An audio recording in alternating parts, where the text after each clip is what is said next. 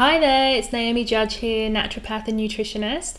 Uh, thanks for signing in to my free three part video series. I will be revealing the most powerful habits of the super healthy.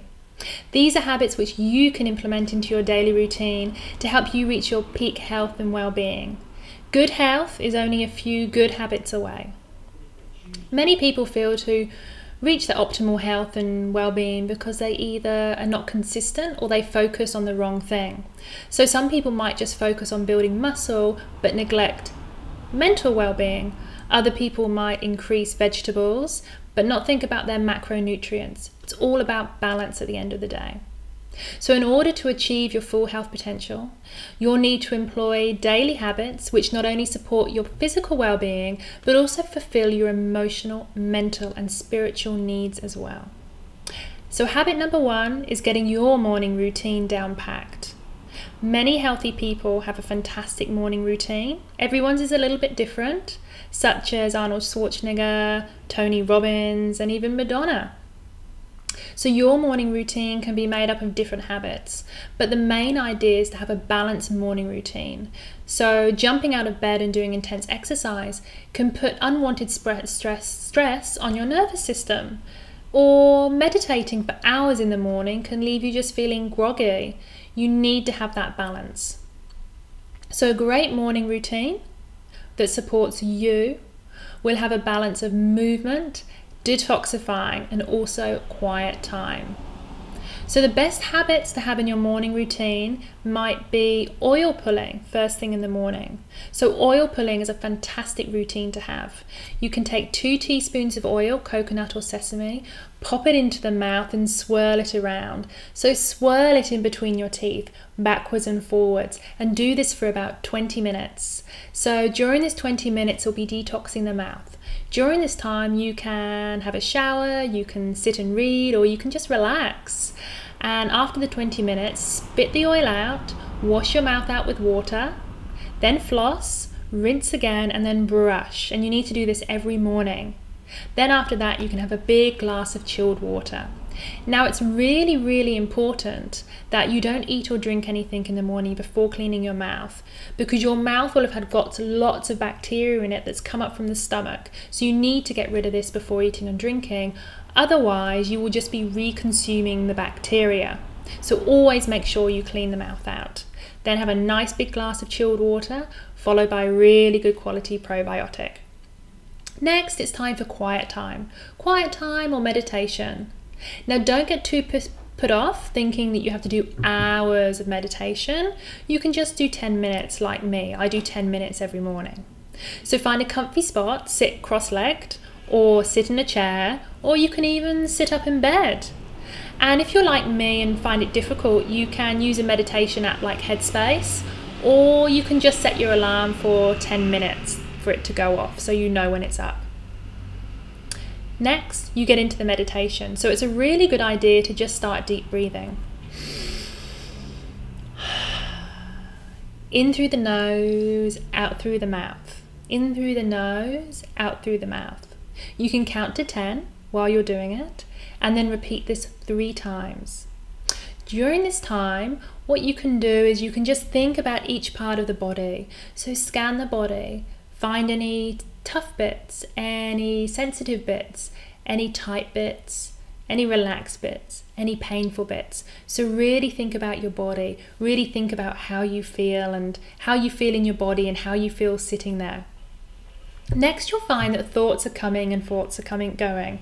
Now, the trick here is to not grab onto a thought and start thinking about that thought. Don't get caught up in the thoughts. You are not your thoughts. What you need to do is let the thought come let the thought go. Let the thought come. Let the thought go. And slowly, the gap between the thoughts will get bigger and bigger. So it may start off like this, then slowly it'll turn into a gap this big. That's the bliss point. That's what you're looking for. That beautiful meditation right in between the thoughts. Get longer and longer until it's just one big, beautiful bliss meditation.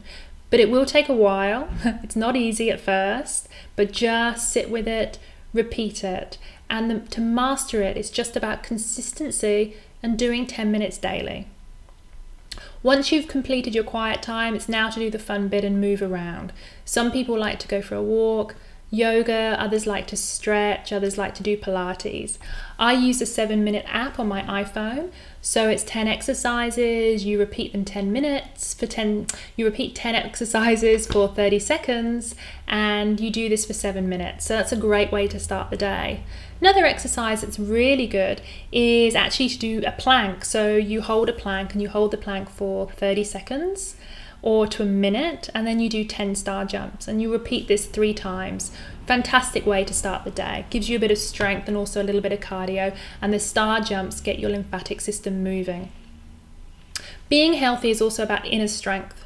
So, those who succeed in reaching their optimal health goals also have visualizations, affirmations. So, these can help you achieve your goals plus stay on target. So take three minutes out after to go over your affirmations, whatever they may be. You may just have one affirmation saying you want to be strong and positive for the day. So just really feel it and go over and get into that space. Visualize your day, visualize your wins, visualize your achievements, visualize being happy, visualize you with your family, visualize whatever it is to you need to visualize to get into that positive mindset for the day. Being healthy is all about being positive, having positive thoughts, and having a positive mindset. So, all these habits are a powerful addition to your morning routine. These should take about an hour.